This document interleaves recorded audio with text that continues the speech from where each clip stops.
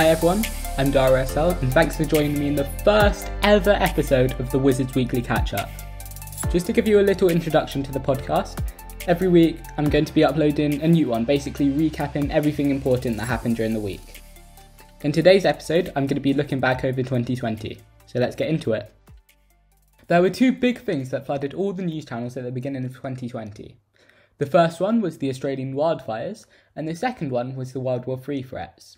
Now, both of those, they did seem massive at the time, but now they seem like years ago, which is crazy. Over the course of the year, SpaceX had conducted 26 missions, which actually beats their previous record, which they set in 2018, which is 21 missions. The reason it was on the news quite late last year was because it's had its 100th mission. Obviously, the main thing on the news for most of 2020 was COVID, which I know no one wants to hear any more talk about. Um, but I just wanted to talk about the good things that have come out of the lockdown. So many people learned to make a new dish or meal during lockdown. A lot of people talked to distant family members and old friends that they hadn't talked to for ages. And did you notice a lot of people becoming calmer and more relaxed during lockdown?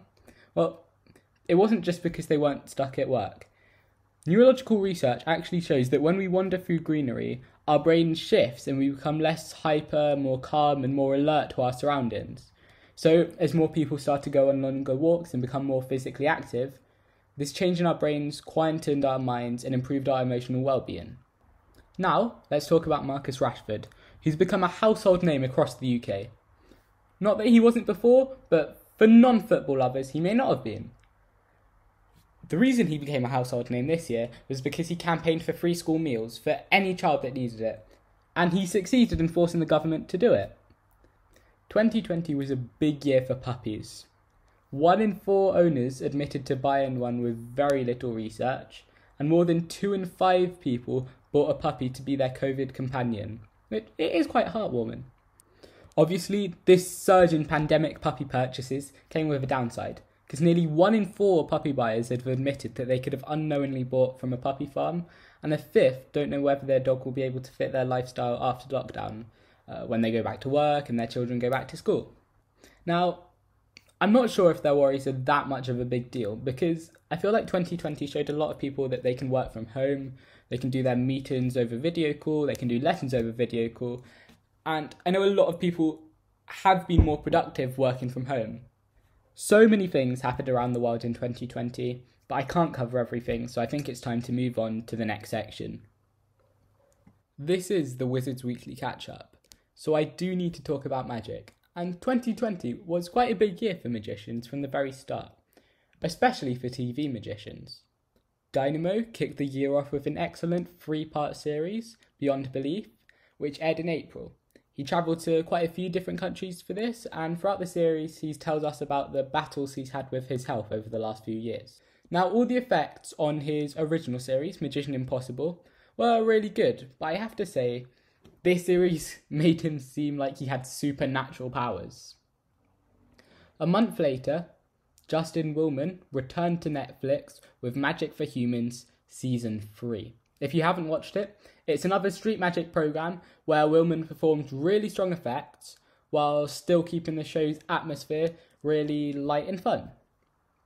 The last thing I'm going to talk about before moving on to another section is Ascension, David Blaine is known for his amazing street magic TV specials, and especially for the crazy stunts that he does, like when he did a 44 day fast and when he was stuck in an ice block for a few days. Now, his latest stunt was Ascension, in which he got a lot of massive balloons and used them to fly for nearly five miles. If you haven't watched it, go onto YouTube and watch it right now, or after you finish the podcast. Okay, let's talk about music for a bit. I've got here the two most popular songs of the year, according to the official charts. Number two was Dance Monkey by Tones and I.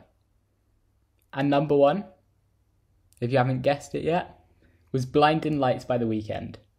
And Blinding Lights was the most streamed song on Spotify, with almost 1.6 billion streams over the course of the year. I couldn't get all the stats about TV shows, but I can tell you the most popular Netflix shows in 2020. According to Digital Spy, the most watched show on Netflix this year was Money Heist, season 4, with 65 million streams. This was closely followed by Tiger King and The Queen's Gambit. Now, on a side note, if you haven't watched The Queen's Gambit yet, I insist you do. It's great. Uh, the Crown and Emily in Paris were both very popular during the year, but these stats weren't available to look at. For the first time ever, the Oscar for Best Picture went to an international feature film, which was Parasite. Now, another big thing that happened in the film industry was that Lashana Lynch was announced to be the first female 007. This doesn't mean she will be James Bond, but it just means that in the film she'll be taking his job at MI6 as 007 when he goes into retirement. The next Bond to take over from Daniel Craig is yet to be announced. I have covered a lot so far, so I'm going to be drawing this episode to a close. Next episode, I will be going into things in more detail, but a lot happened last year, so I just wanted to summarise everything important rather than express my opinion too much. But I do hope you enjoyed this episode, and I know a lot of people think 2020 was a terrible year, but hopefully I've been able to remind you of the good things that happened in 2020. And there were a lot of them. If you have listened to this all the way to the end, thank you so much. And if you did enjoy the episode, it would really mean so much to me if you could subscribe to the podcast. And if you really liked it, then you could leave a review. Both of those things are completely free and it just helps me make more episodes and expand the podcast community. Okay, I won't take up any more of your time. This is the Wizards Weekly Catch Up.